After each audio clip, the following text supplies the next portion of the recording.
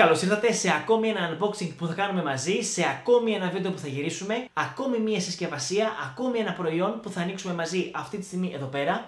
Αυτό που θα ανοίξουμε τώρα είναι ένα σουιτσάκι της TP-Link το οποίο μου ήρθε χτες. Το χρειάζομαι γιατί θέλω να συνδέσω επάνω και να κάνω ένα τοπικό δίκτυο μέσα στο σπίτι, κάποιους δικτυακούς δίσκους και θέλω να συνδέσω και τους υπολογιστές, τηλεοράσεις, home cinema. Πριν προχωρήσουμε ωστόσο στο unboxing, εσείς μην ξεχάσετε να πατήσετε εγγραφή, να πατήσετε το καμπανάκι, ούτως ώστε να παίρνετε ειδοποιήσεις για κάθε βίντεο που ανεβαίνει κάθε Κυριακή πρωί ή λιγότερο πρωί, όπως έχουμε πει και άλλες φορές. Είμαι ο Greek Zer της καρδιάς σας, θα ανοίξουμε αυτό εδώ πέρα και προχωράμε ευθύς αμέσως.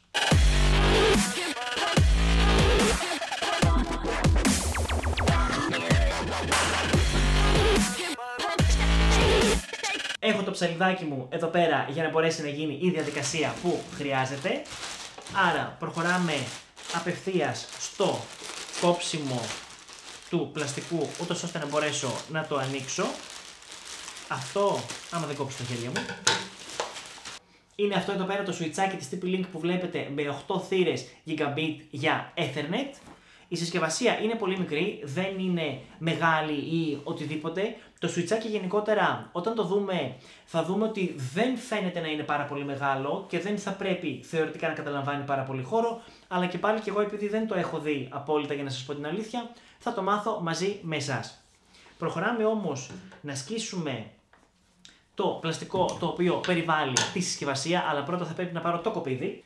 Το έχω λοιπόν στα χέρια μου και ξεκινάμε. Αυτό το σκίζουμε από εδώ για να μπορέσουμε να το ανοίξουμε. Ωραία. Το μοντέλο του συγκεκριμένου switch είναι το TL SG108. Το ξαναδείχνω είναι εδώ πέρα. 8 θύρες Ethernet. 10, 100 και 1000. Δεν ήθελα να πάρω τις 10.000 γιατί εκ των πραγμάτων εμένα δεν μου χρειάζονται. Δεν έχω συσκευές που να μπορούν να το υποστηρίξουν αυτό το συγκεκριμένο. Άρα λοιπόν το βγάζω εγώ από τη συσκευασία. Όπως βλέπετε είναι πάρα πολύ μαζεμένη και πάρα πολύ μικρή, δεν είναι κάτι. Εδώ πέρα έχουμε τις οδηγίες εγκατάστασης, τίποτα το, το τρομερό δηλαδή, αυτά που έχουν όλα μέσα. 5, 8 και 18, η συγκεκριμένη σειρά δηλαδή έχει αυτά τα μοντέλα που παρέχουν 5 θύρες ή 8 ή 16, όχι 18 που είπα. Οκ. Εδώ πέρα μας δείχνει κάποια πολύ μικρές πληροφορίες για να μπορέσουμε να κάνουμε τη δουλειά που χρειάζεται και να, να βοηθηθούμε για εγκατάσταση, για σύνδεση ή οτιδήποτε. Θα πρέπει μέσα να έχει το καλώδιο για το ρεύμα και δεν ξέρω αν θα έχει και Ethernet. Όχι, δεν έχει Ethernet και τέσσερα ποδαράκια. Πάμε όμως να τα δούμε. Εδώ έχει και το installation guide που βλέπουμε αυτή τη στιγμή στο, στην κάμερα που τη τραβάει στην οθόνη μας. Λοιπόν, έχουμε τα ποδαράκια που βλέπουμε εδώ πέρα, ούτως ώστε να μπορέσουμε να τα κολλήσουμε από κάτω για να μπορέσουμε να το στηρίξουμε πάνω στο γραφείο ή κάπου αλλού εφόσον θέλουμε να το βάλουμε έτσι. Δεν ξέρω αν τα πιάνει καλά η κάμερα για να μπορέσω να σας τα δείξω και να τα βλέπετε. Νομίζω ότι τα βλέπετε. Έχουμε τον φορτιστή που δεν είναι τίποτα το, το τρομερό. Είναι αυτό εδώ πέρα το πραγματάκι όπως το βλέπετε. Πολύ μικρό. Και πάμε να δούμε το σουιτσάκι. Ποιο είναι το πρώτο καλό για εμένα όσον αφορά το συγκεκριμένο, το σουιτσάκι δηλαδή που συζητάμε. Θα έχω και το κουτί λίγο εδώ πέρα πάνω στο γραφείο για να δω λίγο και όλες τις λεπτομέρειες. Λοιπόν, αρχικά να το δούμε λίγο πώς είναι γύρω γύρω. Εδώ όπως το βλέπουμε έχει τις θύρες που είναι για τον εξαερισμό, ούτως ώστε να μπορεί αυτό όταν ζεσταίνεται να έχει καλύτερη εξαγωγή της θερμότητας. Αν το δείτε από μπροστά, αυτό το πέρα το κομμάτι που βλέπετε αυτή τη στιγμή δηλαδή είναι το μπροστά, έχει 8 θύρες Ethernet όπως σας είπα και εδώ πέρα έχει και ένα λαμπάκι που είναι το λαμπάκι του power, είναι το λαμπάκι δηλαδή της ενέργειας.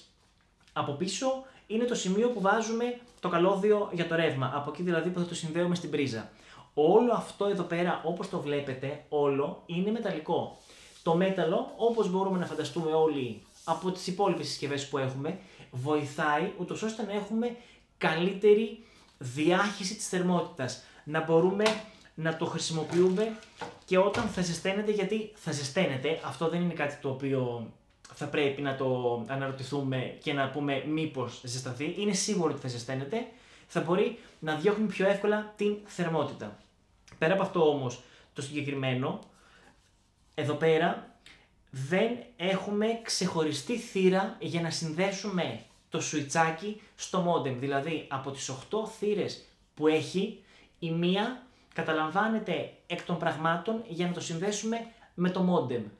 Άρα, ελεύθερες για να συνδέσουμε πάνω υπολογιστές, τηλεοράσεις, home cinema, δίσκους ή οτιδήποτε μπορεί να έχει ο καθένας, είναι 7 θύρες. 7.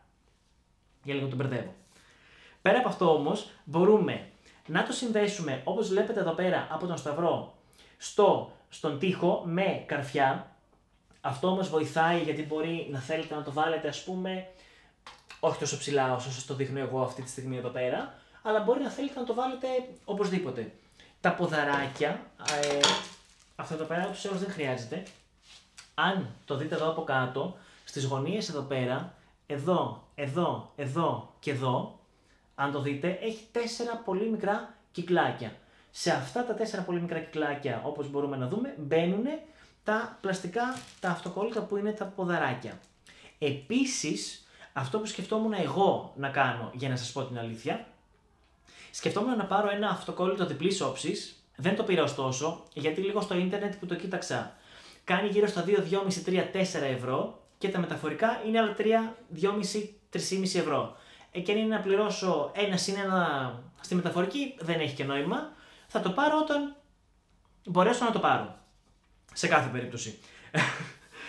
Όσον αφορά ωστόσο τα χαρακτηριστικά του συγκεκριμένου.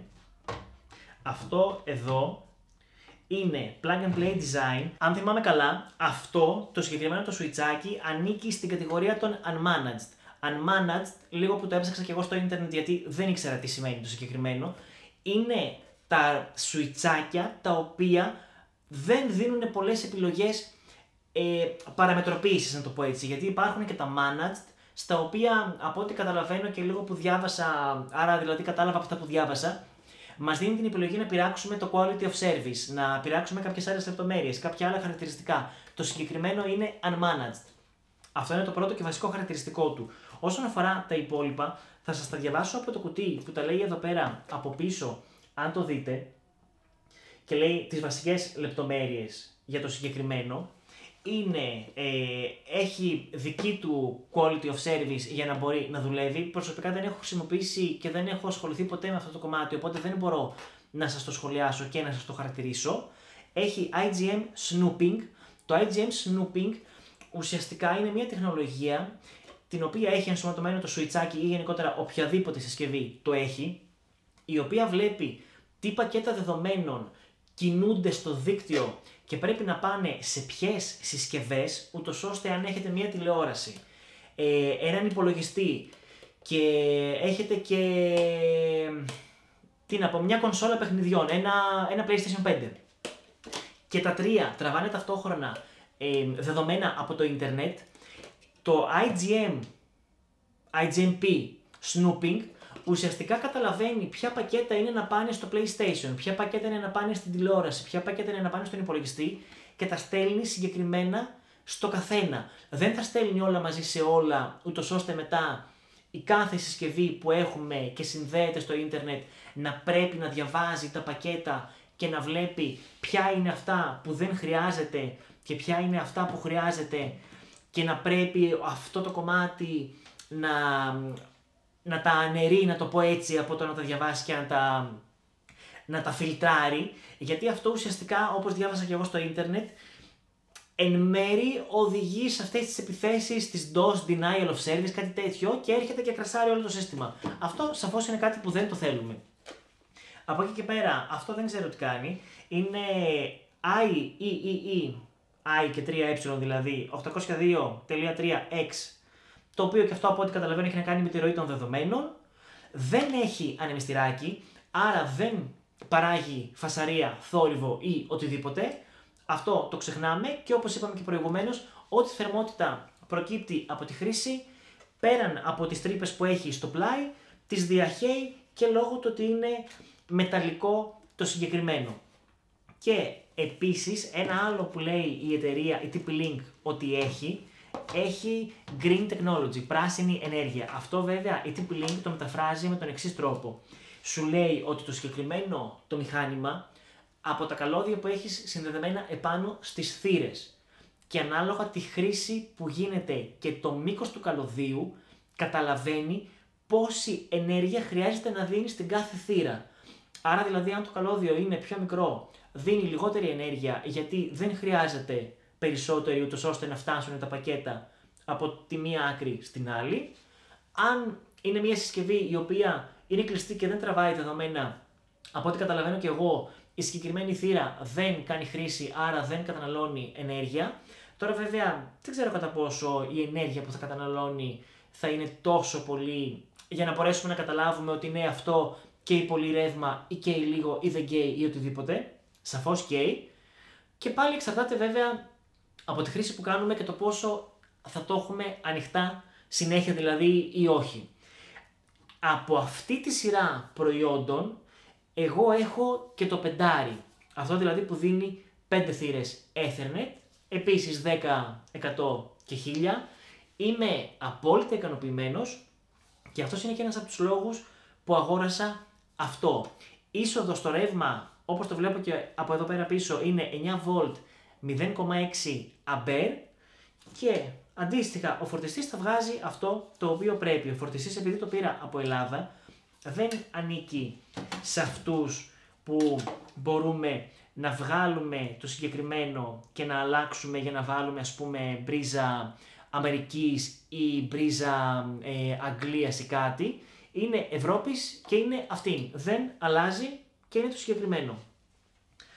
Σε κάθε περίπτωση όμως αν χαλάσει οτιδήποτε σαφώς μπορούμε να χρησιμοποιήσουμε οποιονδήποτε αντίστοιχα φορτιστή βγάζει αυτήν την ποσότητα ενέργειας.